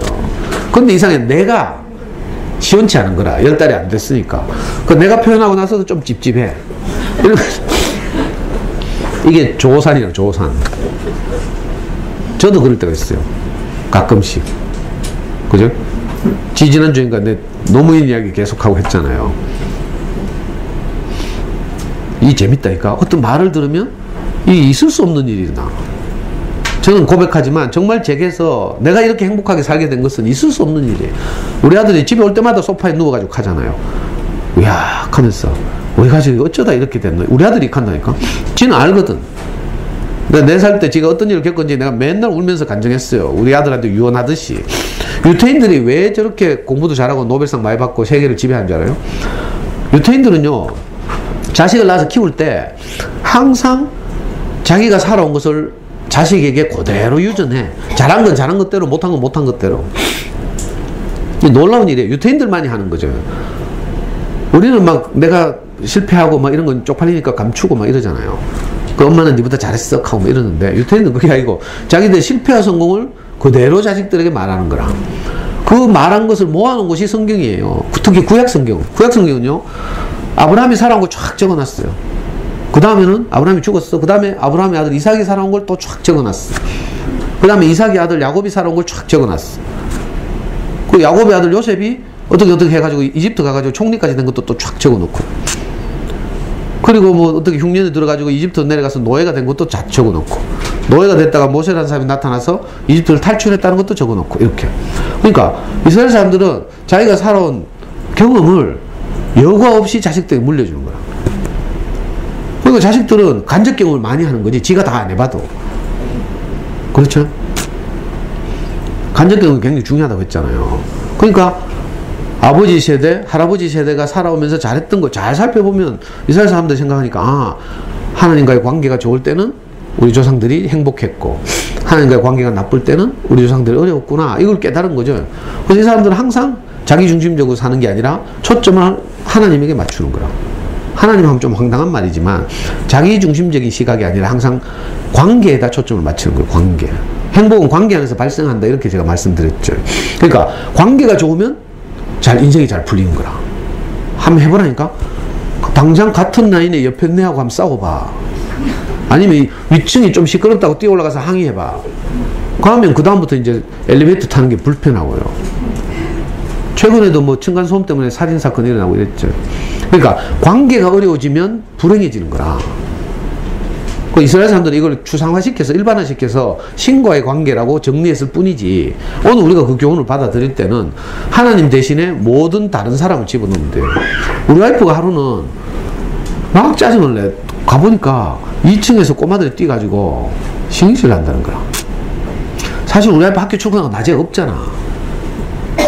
애가 뛰면 그 저녁에 퇴근해가 조금 뛰거든. 그건 좀 용인할 수 있는 정도의 소음 같은데 내가 볼 때. 와. 성질 급한 게 내가 급한 것 같죠? 생물학적으로 내가 훨씬 급해요. 근데 사람과의 관계를 하는 걸 보면 아니라니까. 저는 우리 목사님 양식을 계속 예? 받아들여서 제가 소화하고 예? 우리 와이프는 안 그래. 바로 전화하더라니까. 그 젊은 부부한테. 내 싸움 날까 얼마나 불안하든지. 제발 빌었어 내가. 여보 참고 살자 왜? 관계가 어려워지면 안 되니까. 그리고 또 위층에 어떤 사이코 같은 놈이 하나 산다고 생각해봐. 무슨 또 행패를 부릴지. 실제로 지금 저 뭐야 범어네거리 제니스 가면 그런 아줌마 있다니까. 내 강의를 호셔츠에서 오래 들었던 아줌마인데 이 남편 내하고 축구도 같이 하고 있는데 성격이 좀 그래 까칠해. 그 위층하고 층간소음 아래층하고인가 층간소음 문제가 불거졌어. 그래 지금 몇 년째 소송하고 있어. 엘리베이터 만나면 바로 막 같이 욕하고 막. 근데 별거 아닌 일을 어린 양처럼 관계를 소중하게 생각하고 살면 되는데 얘들이 이 언니 이 그 내가 호셔츠 강의를 듣던 아줌마가 옛날에는 그 강의를 듣고 잘 살았는데 어느 날 딱 발을 끊더라. 그건 이제 여유가 없어진 거죠. 그 약발이 다 됐어. 그리고 남편하고 동, 동조해가지고 막 아래층하고 싸우는데 참 운 나쁘게도 아래층이 누가 사는가 하면 경북대학교 로스쿨 교수가 사는 거야. 법이 얼마나 밝은 사람이에요. 근데 그 주변에 그 법, 법 쪽에서 평판도 아주 나쁘대. 그리고 집요하게 소송하고 막 이래가지고 막 괴롭힌 이런 집이 아래층에 산다는 거야. 아, 지금 3년째 극하고 있다. 3년째. 엘리베이터 만나면 그쪽 부인도 막 모질게 하고 막. 그러니까 그 얼마나 불편하겠어요. 그 대구에서 제일 좋은 아파트 사는데. 제니스 가봤어? 난 가봤거든? 내 그- 지금 말하는 그 집에서 제가 1년, 1년 넘도록 모임을 했어요. 토라스쿨을 그 집에서 했다니까? 그러니까 봉무동 아줌마들 여러 명이 거기 모여서 같이 울고 웃고 했는데, 하도 하여튼 그래가지고 잘 안 돼서 이제 끝났죠. 제니스 꼭대기 가면 저거 있다니까? 뭐고? 펜트하우스. 150평짜리인데 펜트하우스도 가봤잖아. 그 여러 세대가 같이 살도록 완전히 이렇게 구조를 그렇게 해가 150평에 그리고 욕조가 안 옥, 흰옥기 욕조야. 무슨 말인지 알아? 갑자기 이상한 데로 갔네. 아니 인생을 살 때요 가장 중요한 게 관계라니까 이스라엘 사람들 이걸 알았어 왜 조상들로부터 계속 유전받았어 자기들은 하나님과의 관계가 좋을 때 이스라엘은 그러니까 자기가 안 되면 강대국에 멸망당하잖아요. 그러면 우리가 하나님께 잘못해서 그랬다 이렇게 생각. 신이 노해서 그렇다. 잘 되면 하나님이 우리를 축복해서 그렇다. 늘 이렇게 해석했어요. 이건 이제 현대적으로 제가 해석하자면 어떤 대상과의 관계 문제인 거라. 우리가 관계를 소중하게 생각하면 행복할 가능성이 훨씬 높고요. 관계보다 물질을 더 소중하게 생각하거나 엉뚱한 더 소중하게 자존심을 더 소- 소중하게 생각하거나 이러면 행복이 떠나가는 거죠. 한번 해보라니까. 그래서 누구 하나 밉잖아요. 그럼 진짜 괴롭다니까. 특히 뭐 우리가 뭐 김정은 미워하겠어요? 아이고 내 가까이 사는 남편 아니면 시어머니 뭐 아니면 친정 남동생 이상하게 가까운 사람이 밉다니까? 그 적은 가까이 있어. 그 이스라엘 사람들은 희한하게도 자기들이 살았던 이야기를 계속 거듭해서 후배들에게 후손들에게 말해준 거예요. 그걸 다 모은 것이 오늘날 이스라엘의 역사이기도 하고 하는 그 구약 성경이에요. 유태인들은 신약을 안 믿거든? 예수가 자기들 구약 성경 안에서 예언됐던 메시아라는 사실을 유태인들은 거부했어. 그렇죠? 그래서 자기들은 아직도 구약 성경만 신봉한다니까. 그래서 그 종교를 유태교라고 하죠. 근데 이 희한하게도 이 사람들은 계속 그렇게 자신들 경험을 후손들에게 물려주는 거예요. 그 저도요, 우리 아들에게, 난 이걸 목사님한테 들었거든. 그래서 내가 우리 아들에게 가장 잘할 수 있는 것은 뭐예요? 내가 내 인생의 경험을 우리, 내 아들에게 물려주는 거라. 그 저는 우리 아들 4살 때부터 계속 이간적을 했어요. 우리는 목사님, 목사님을 만나지 못했으면 완전히 니는 과원에 갔고 엄마 아빠는 이혼해가지고 아빠는 홈리스 됐다. 내가 주제파를 딱 하거든요. 내가 딱 했으면 분명히 나는 홈리스의 세계에 가서 거기서 사람들 모아가지고 뭐 훌라를 하거나 노름을 하고 있을 거라. 그래도 능력은 좀 있으니까 어디 가든지 사람 모으고 있겠지. 제가 운동권에서 사람 모으고 후배들하고 의식과 스터디하고 했잖아요. 근데 우리 아들한테 늘 그 이야기 했어요. 근데 그 절망적일 때 엄마도 너를 버렸을 때 목사님은 우리 가족을 버리지 않으셨다. 이스라엘에서 가장 위대했던 왕이 다윗인데요. 이 다윗의 고백이 있어요. 다윗에게는 형제가 8명 있어. 근데 형들이 다 잘생기고 능력이 있어. 다윗은 키도 작고 얼굴도 뻘겋고 뭐 못났고 이래. 하루는 그 이스라엘의 유명한 선지자가 사무엘이라는 선지자가 있는데 하나님이 심부름을 보냈어. 이스라엘의 두 번째 왕을 세워야 되는 거라. 첫 번째 왕을 세워놨더니 첫 번째 왕은 너무 막 인물이 중수하고 칼싸움 잘하고 막 이래가지고 이스라엘 왕으로 삼았어. 근데 이게 너무 잘나가지고 하나님 말을 안 듣는 거라. 그래가지고 백성들의 마음이 떠났어요. 지금 탄핵 정국처럼. 그래가지고 하나님이 이제 사무엘 선제를 시켜가지고 저기 저 어디 가면 이세라는 사람이 있는데 그 사람 집에 아들이 여덟 있다. 그 중에 내가 두 번째 왕으로 세울 임- 인재가 있다 이렇게 말한 거야. 그래서 사무엘이 딱 갔어. 이제 면접 보러 간 거죠.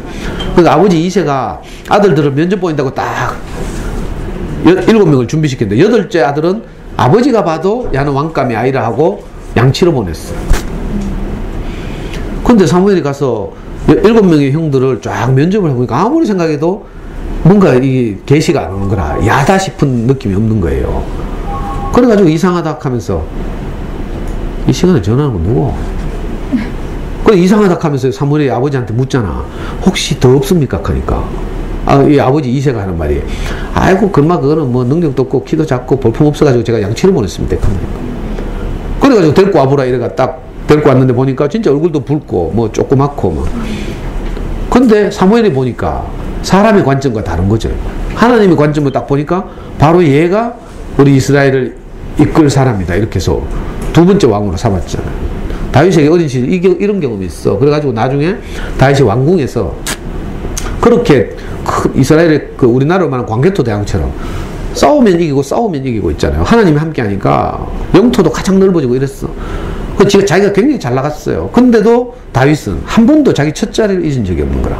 뭐라고 하는가 하면 그죠? 부모도 나를 버렸을 때 여호와께서는 나를 버리지 않으셨다. 아버지도 자기는 보잘것 없다고 무시하고 이랬던 거죠.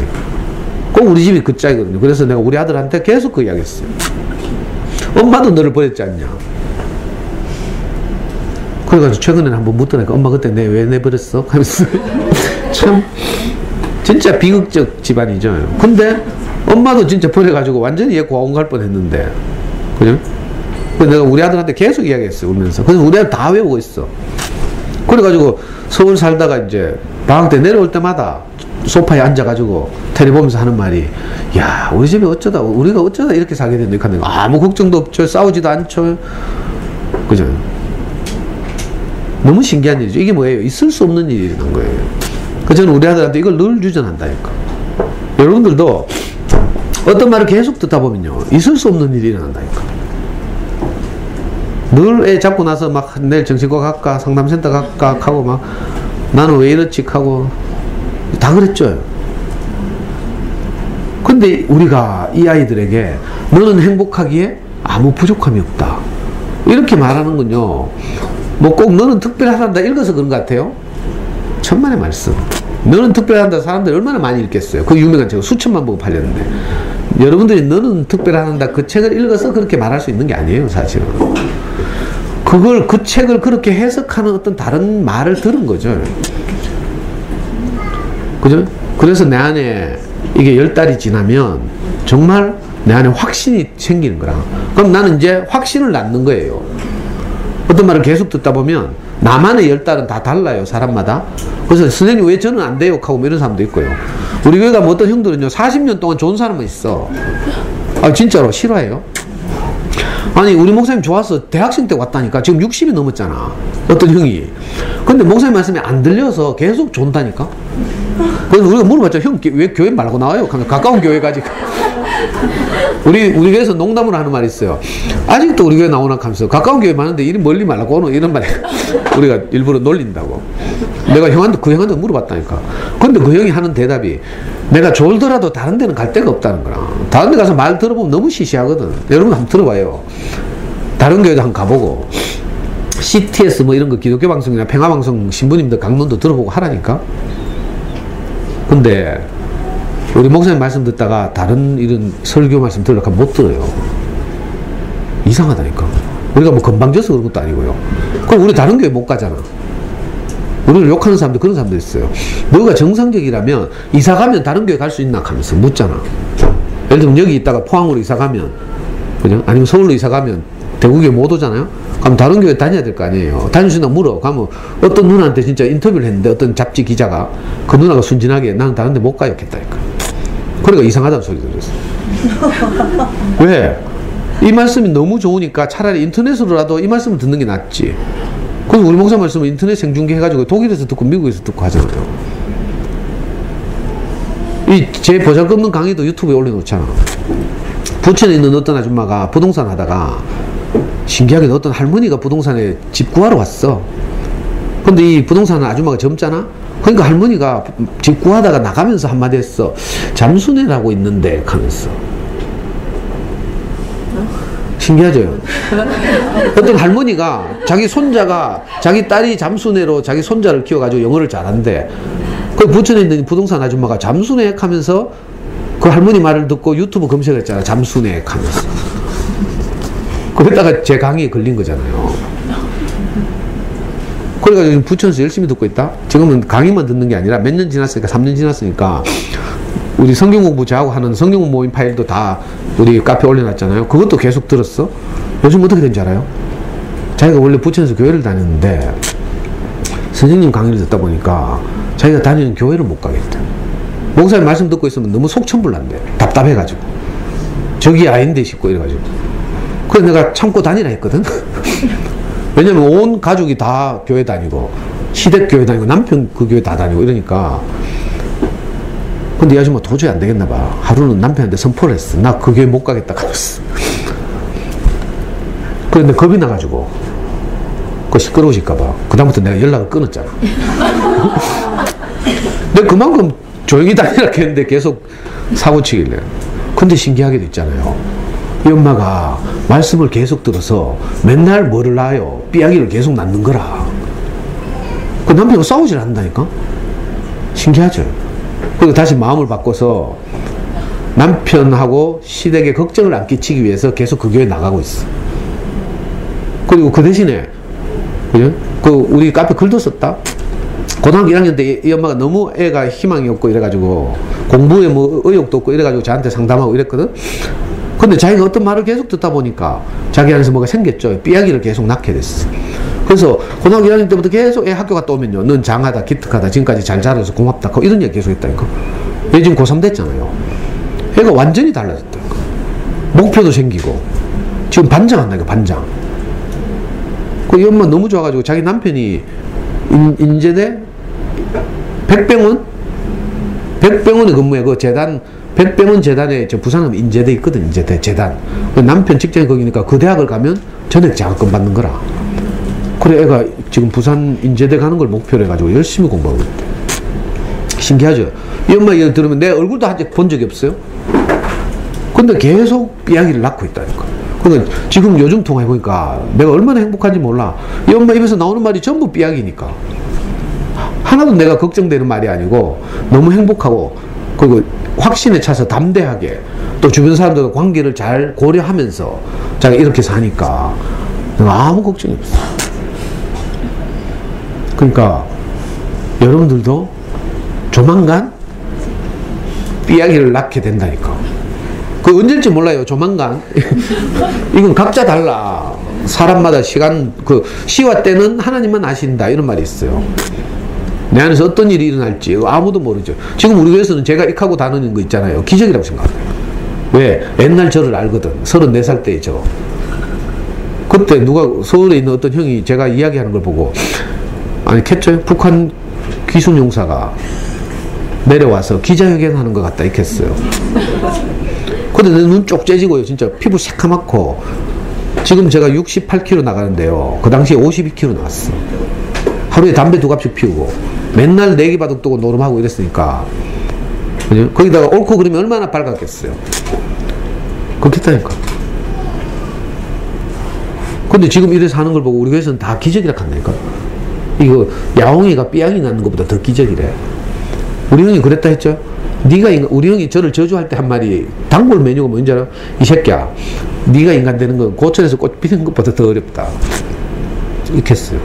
우리 형수는 우리 와이프한테 네 저 인간하고 살지 말고 빨리 도망가 니라도 살아라. 네가 애가 불쌍해서 도망 못 가면 내가 대신 애 키워줄게. 우리 형수가 있겠어요. 우리 형수가 그 말에 자기가 딱 책임을 진다고 우리 아들 대학 등록금 자기가 다 냈죠. 입학 때부터 졸업 때까지 우리 형수가 다 됐어. 고맙네. 우리 와이프는 우리 목사님이 설득했을 때 그 꼭 이스라엘의 아하스 왕처럼 이스라엘 선지자가 뭐 이렇게 말했을 때 아, 그건 하나님 와도 안 됩니다. 이런 말을 했죠. 전혀 우리 와이프가 목사님 상담하고 나서요. 문 닫고 나가면서 그 인간은 하나님이 와서 보증해도 안 됩니다. 이렇게 했다니까. 제가 얼마나 상태가 그랬으면 그렇, 그렇겠어요. 근데 신기하게도 있을 수 없는 일이 거죠. 어떤 말을 들었을 뿐이에요. 어떤 말을 듣는다는 말은 사실은 먹는 거예요. 여기 달걀을 먹잖아요.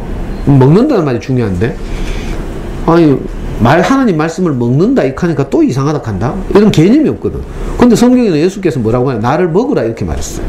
제자들하고 최후 만찬을 하면서 포도주를 나눠주면서 이것은 내 피니 너희들이 마시라. 그죠? 떡을 떼면서 축사하시기를 이건 내 몸이니 너희가 먹어라. 이렇게 말했어.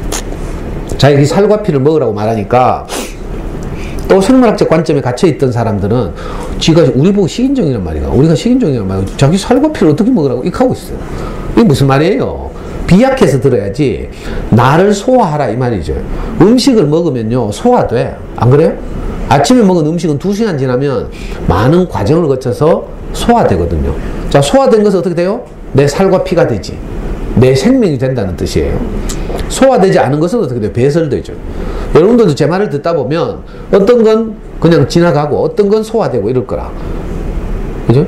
이게 먹는다는 것, 듣는다는 말은 사실은 먹는다는 것을 전제하는 말이에요. 생물학적으로는 먹는 것이지만 인격적인 것은 그죠? 들어서 소화하는 거죠. 들으면요 어떤 건 소화된다니까. 여러분들이 아이를 키우면서 실패도 해보고 좌절도 하고 하잖아요. 이런 경험이 있을 때 제 말을 들으면 소화가 돼요. 어제도 태전초등학에서 강의를 하니까 엄마들이 제일 앞줄에 앉은 엄마들이 와 하면서 자기들 너무 속속들이 알고 있거든. 제가 늘 강의 초반에 그 말 하잖아요. 애들 유치원 노란차 태워 보내고 엄마들끼리 수다 떨다가 자기 집에 데리고 와서 커피 한 잔 하고 그 다음에 언니 집에 놀러 가봐야 되고 하고 하면 그때 언니가 우리 집 청소 안 했는데 하고 뭐 근데 이런 이야기 하니까 엄마들이 놀래가지고 이상한 남자가 와가지고 자기들 사생활을 속속들이 알고 있거든 그렇죠? 이게 뭐예요? 성경은 그런 말이 있어요. 나를 나보다 더잘 아시는 하나님 이런 말이 있어요. 우리는 내가 나를 제일 잘한다고 생각하죠. 천만에 맞어. 나는 나를 몰라요. 애기들이 자기 지금 왜 아픈지 잘 모르거든. 근데 엄마는 알죠. 열이 나서 우는 건지 배가 고파서 가는 건지 뭐 응? 이런 걸 알죠. 잠이 부족해서 가는 건지. 그러니까 나를 나보다 더 잘 아시는 분이 있다 이걸 알아야 돼. 나를 나보다 더 잘하는 사람이 있다는 건 정말 복이죠. 저는 내가 내를 제일 잘한다고 생각했는데 제 스승을 만나보니까 그게 아니더라니까. 나는 표면만 알고 있고 껍데기만 알고 있어. 근데 진짜로 나를 나보다 더잘 아시는 분. 미안한 말이지만 학교 강의하러 가면 내가 엄마들보다 내가 더 잘 알잖아. 그러니까 엄마들이 놀래가지고 있잖아. 너무 재밌어요. 아, 나를 나보다 더 잘하니까 어떻게 했어요? 내가 의지하기 쉽지. 그래서 저는 내 인생의 길목길목마다 중요한 문제는 항상 제 스승에 가서 물어보잖아요. 왜? 나를 나보다 더 잘하니까. 너무 쉬워요, 그러면. 근데 물어볼 데가 없으면 어떻게 해야 돼? 내가 머리 싸매야지. 계속 고민하고 갈등하고 이래야 되죠. 인생 사는 거 진짜 쉽다니까. 관계를 생각하면 돼요. 그죠? 관계가 좋으면 거기서 행복이 발생하니까 관계가 좋으면 어떻게 해야 돼요? 어떤 말을 들어서 소화하는 거. 아까 열 달 동안 착상해서 그죠? 점점 태아가 자라나서 마침내 출산하게 되는 것처럼 우리 안에서 어떤 말씀이 계속 들어와요. 들어와서 소화되면 이게 내 안에서 점점점 자라서 마침내 표현한다니까. 출산은 표현이에요. 내 안에서 정말 담대하게 남편에게도 당신 우리 가족을 위해서 정말 헌신 온 최선을 다해서 헌신해 줘서 너무 고마워요. 당신 덕분에 우리가 이렇게 행복하게 살고 있어. 이 말이 가감 없이 표현되게 돼 있어. 근데 지금 그말 해. 저 인간이 저기 이, 이 걱정되죠. 이 아직 뭐라게 열 달이 안 되고 한 일곱 달쯤 된 거라 지금. 아, 요 말은 내 요만큼 오는데 요거까지 말하면 저기 또 지멋대로 하는 거 아닌가 싶어가지고 걱정되지. 절대로 안 그렇거든요. 이 신기하다니까. 근데 어느 날 열 달이 되면 우리 모기님 실화가 있잖아요. 모기님이 정말 말씀을 저를 따라하면서 목숨을 걸고 들었어요. 지금 십몇 년째. 어느 날 한 5년 전인가 남편이 오퍼상을 하면서 돈을 잘 벌었어 한때. 섬유를 외국에 수출하고 이런 걸 했거든요. 겸이 아빠가. 그때는 돈을 잘 벌어가지고 겸이 엄마가 돈으로 돈질한다고 하루는요. 겸이 영어 유치원 보내고 나니까 그 옆에 애들 다잘 살거든 사자 돌리고 이래가지고 겸이 엄마가 자존감이 낮잖아. 쫄아가지고 남편 쫄아가지고 명품백을 한꺼번에 다섯 개 샀잖아요. 그만큼 남편이 돈을 잘 벌었다니까. 지금도 있어 다섯 개. 근데 나중에 이제 섬유 산업이 사용화되고 이래가지고 제가 정확한 기간한테 한 5년 전에 남편이 어쩔 수 없이 그 오퍼상을 문 닫게 됐어요. 그 사무실을 정리하고 집으로 돌아오는 차 안에서 이 겸이 아빠가 겸이 엄마한테 전화를 했잖아요. 자기는 너무 속상할 거 아니에요. 처자식을 먹여 살리고 최선을 다했는데 이 잘못되가 문 닫게 되니까 그죠? 막막하기도 하고 속상하기도 하고 이래가지고 겸이 엄마한테 전화를 했다니까. 차를 몰고 아파트를 들어오면서 내 좀 위로해봐라. 근데 겸이 엄마가 내가 지금 다 리바이벌 할 수는 없지만 정말 진심으로 넉넉하게 그 남편을 위로했다니까. 당신이 지금까지 최선을 다해서 우리가 행, 어, 부족함이 없이 행복하게 살았다. 이제 좀 푹 쉬자. 푹 쉬어도 괜찮다. 하루는 남편이 퇴근하고서 노래 불러달래. 내 기억이 정확한지 모르겠지만, 그래, 겸이 뭐 전화통화 노래를 불러줬어요. 뭐지? 뭐, 무슨 노래? 10월에 오는 멋진데 불렀다잖아. 우리가 다 내가 여러분 앞에 이야기할 수 없지만, 정말 많은 있을 수 없는 일이, 기적 같은 일이 일어난다니까? 여러분들 경험하고 한번 살아봐요. 저 싸가지로, 어떻게 저, 어떻게 저 남편에게 저런 표현을 할 수 있는지 이건 있을 수 없는 일이에요. 정말 지밖에 모르거든. 남편을 종 부리듯이 부리고 이래요. 처음에 내가 저 집 가보니까 남편은 정말 선한 부처님 같은 분이고 묵인중학교 나와가지고 자기 소원이 그죠? 자기 소인이 그런 사람 되는 거래. 부처님 같은 사람. 남편이 추구하는 게. 근데 정말 선하고 남 싫은 소리 안 하고 젠틀하고 이렇거든요. 키도 크고 운동 잘하고 뭐 도달 것이 없어. 겸하면 조그마이가 새까마이가 막 자존감은 낮을 대로 낮아가지고 근데 막 남편 쥐잡듯이 잡아가지고 있잖아. 저 집 쓰레기 버리고 뭐 음식물 쓰레기 다 남편이 하고 있잖아. 무거운 거 남편이 다 들고 막. 저 완전 공주도만. 근데요, 있을 수 없는 일이 같아요.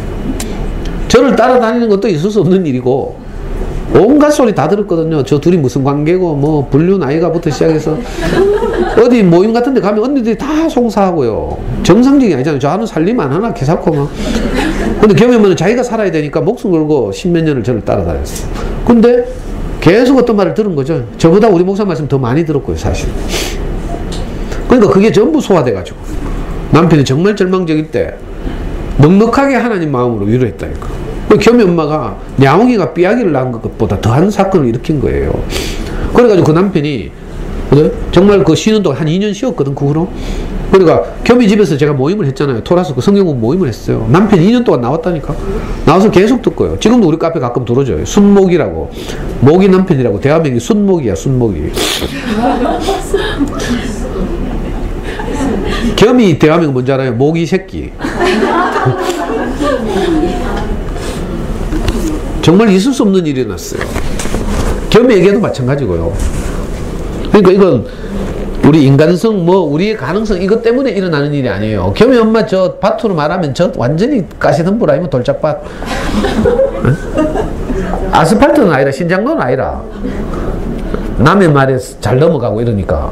고등학교도 뭐 남매 호랑개인가 어디 뭐 대순진료에 이런 데도 가서 돈 갖다 바치고. 근데 인간적으로는 정말 저 내가 볼 때 저도 그렇지만 제 과예요. 완전히 쓸모없는 밭, 황폐한 밭 같은데 그 우리 저나 모기님의 상태가 중요한 게 아니야. 성격이나 뭐 기질이나 이건 아무 문제가 안 돼요. 겠죠? 신신한 동물을 만나면 모래밭에는 땅콩을 심고 황토밭에는 고구마를 심는다니까. 그럼 우리가 문제가 아니죠. 농부가 알아서 씨를 심을 거니까. 경험은 정말 놀라운 일이었어.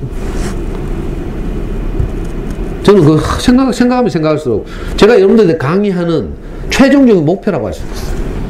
여러분들이 정말 이 말을 소화해서 여러분들하고 함께 사는 소중한 분들에게 저를 대신해서 이 마음을 좀 표현했으면 좋겠다. 아빠들이 들어오면 내가 아빠한테 직접 하면 되지만 아빠들이 들을 안 오잖아요. 어떤 엄마들 아빠를 위해서 강의를 한번 해줬으면 좋겠어요. 들어올 아빠 거의 한두 명밖에 없어요. 가끔 센 엄마들이 아빠 끌고 오더라고. 그러니까 제가 할 수 없으니까 어떻게 해요?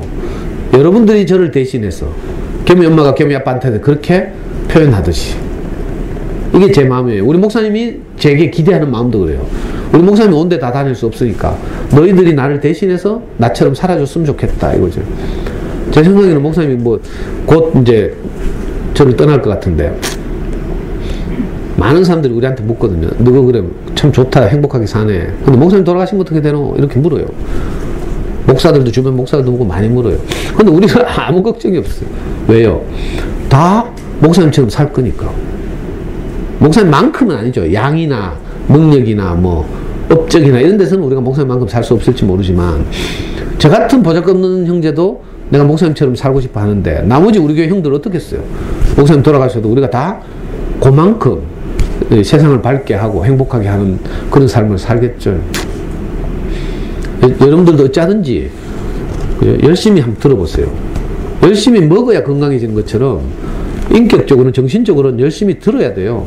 듣다 보면 이상하게 소화 능력이 발달해. 처음에는 몇 마디 안 들리거든요. 시간이 흐를수록 점점 내가 소화하는 정도가 늘어나서 나중에는 목이님처럼 아예 안 들어.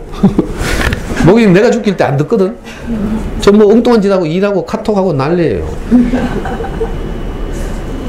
어쩌면 쟤보다 더 고수가 됐는지도 몰라. 표현은 내가 좀 더 잘할 수도 있지. 근데요, 어떤 말을 계속 듣다 보면 이상하게 열 달이 지나면 우리 안에서 있을 수 없는 표현이 생산된다니까. 정말 내가 가감 없이 찝찝하지 않게 아이를 있는 그대로 사랑한다고 표현하고 남편에 대해서도 있는 그대로 감사하고 엄마들 보면 남편 막 미워 죽는 엄마들 많더라고. 그죠? 근데 제 강의를 들으면 어떤 효과가 있는 줄 알아요? 야, 우리 남편 정말 미웠는데, 선생님 강의를 들어보니까, 그래도 선생님보다 낫네요. 하면서. 이런 분들 많더라고. 초창기 언니들 지금 저하고 같이 우리 교회 오는 자- 호주에서 강의들도 많은 엄마들이 극하더라고. 그리고 위로를 많이 받았대. 야, 우리 남편 아무리 뭐라 뭐라 해서 선생님처럼 성질이 더럽진 않다 하면서. 여러분들 진짜 좋은 남편 만났고요. 정말 사랑스러운 아이들 만났어요. 그 때가 차서? 열 달이 다 돼서 여러분들 안에서 정말 있을 수 없는 표현들이 날마다 뭐 이거 옛날 할머니들 표현대로 하면 뭐 순벙순벙 하던가 애기 낳는 걸 보고 순풍 뭐 순풍 순풍 자 주저함이 없이 여러분들이 야옹이가 мя옹이가 삐약이를 생산하는 것처럼 우리 안에서 정말 주저함이 없이 우리 우리 이 표현을 하면요. 어떤 일이 벌어진가 하면 표현하는 내가 제일 행복해 일단 첫째. 주변 사람도 행복해지는 건 둘째 치고요. 그러니까 얼마나 행복하게. 저는 아, 여러분들한테 이런 말을 할 때가 제일 행복하거든요. 그래서 내가 금요일이 제일 기다리신다니까 우리 목사님이 일요일 제일 기다린다 하잖아요. 그 지금 며칠 있으면 돌아가실지도 모르는 분이 이번 일요일에 와서 우리 앞에 나보다 먼저 와서 내 말을 듣기 위해서 기다려줘서 너무 감사하다 이렇게 말했어. 사실 우리가 목사님 말씀을 맨날 들으면서 우리가 이렇게 행복하게 됐잖아요. 근데 우리가 감사하다고 해도 부족할 판이에요. 목사님 거꾸로 우리한테 감사하다 하더라고요. 저도 마찬가지예요. 여러분들이 이렇게 늘 와서 제 이야기를 들어주는 것이 너무 감사하고 열 달이 빨리 차서 정말 정말 행복하게 있잖아요. 그렇게 남편에게 고백했으면 좋겠어. 나중에 되면요 시어머니한테도 그래 고백하게 된다니까.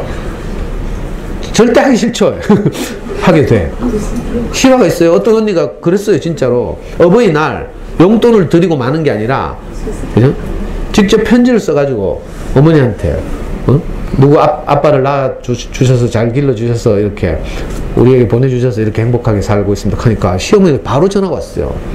너무 좋아가지고. 근데 전화통을 들고 시어머니가 "하, 너무 좋은데 이거 표현을 못 하는 거라. 근데 그 느낌 있잖아요. 자기 마음을 알아주고 세상에 어느 며느리가 그죠? 아들 잘 키워서 이렇게 보내주셔서 어머니 덕분에 우리가 이렇게 행복하게 살고 있습니다. 이런 고백을 듣는 시어머니가 세상에 어디 있겠어요. 그러니까 시어머니 전화 가지고 막 계속 뭐 딴 이야기라고 딴 이야기. 그 엄마가 와서 간증을 하던데 딱 들어보니까 시어머니한테 뭐가 흘러들어간 거예요. 노란 계란이 흘러들어간 거죠. 여러분들한테도 있을 수 없는 기적이 일어났으면 좋겠습니다. 다음 주에 뵙겠습니다.